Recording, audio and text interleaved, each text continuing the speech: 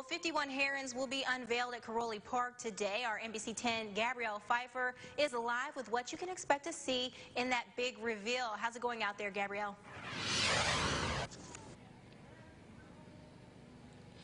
Michelle, as you can see behind me, people are beginning to make their way to Kiroli Park for the big heron reveal. And as you can see right here, this heron is covered, but in about 45 minutes, people will get a first look at these beautiful hand-painted sculptures.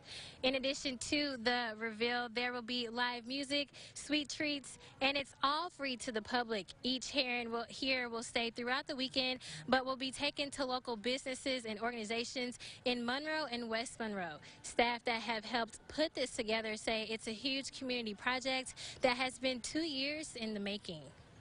Everybody is really becoming really proud of.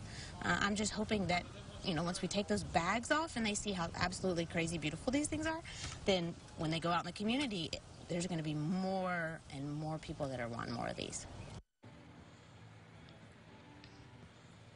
If you need something to do, bring your kids, bring your entire family. They'll do the reveal around 6.15 and end at 8. Reporting live in Kiroli Park, Gabrielle Pfeiffer, NBC 10, your local news leader.